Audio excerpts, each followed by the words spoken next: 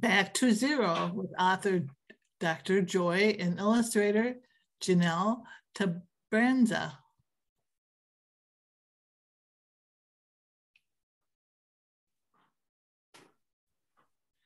There are times at school when I can't handle the load. It feels like my brain is going to explode. I'm reaching a level 10, a very scary space. I need to get back to zero, a much safer place. I hate that it happens when everyone is around. In the midst of it all, I'm having a meltdown. If you feel you're reaching 10 and don't know what to do, I have a few ideas that will surely get you through.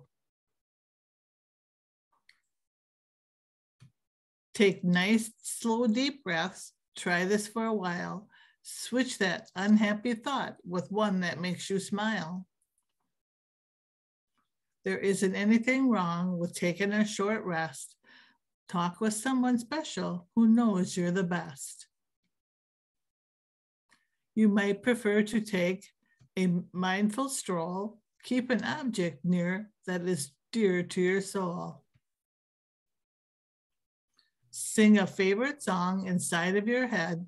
Imagine being in your happy place instead.